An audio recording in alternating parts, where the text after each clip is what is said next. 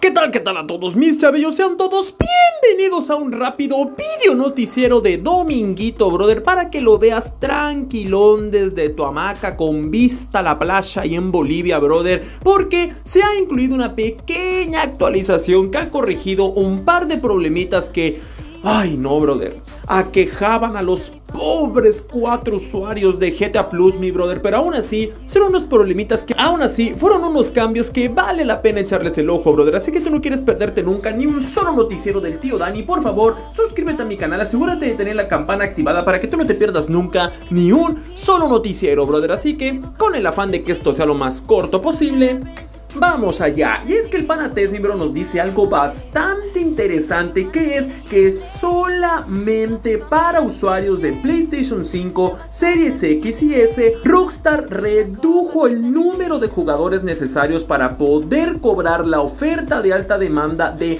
mínimo 20, ahora actualmente mínimo 18 jugadores, brother, para que de esta manera se pueda corregir un pequeño error que solamente los miembros de GTA Plus sufrían que al momento de vender mercancía del hangar, ahora con tremenda bonificación, siempre y cuando rebasara la línea de los 10 millones por algún error raro, no se les entregaba el dinero. Te recuerdo que la bonificación de alta demanda se da solamente en sesiones públicas, que cada persona que esté en la sesión que no sea parte ni de tu Securo Ser ni de tu club de moteros, pues eso se va a traducir en un 1% adicional para la venta, lo que quiere decir que ahí está el dinero de verdad. Pues bueno, esto ya quedó corregido y también se corrigió un pequeño error con el precio con descuento del FH1 Hunter solamente para los miembros de GTA Plus, ya que este no consideraba el descuento adicional del 50% que tiene de por sí con esta semana de bonificación, bro, lo que quiere decir que en este momento solamente para los miembros de GTA Plus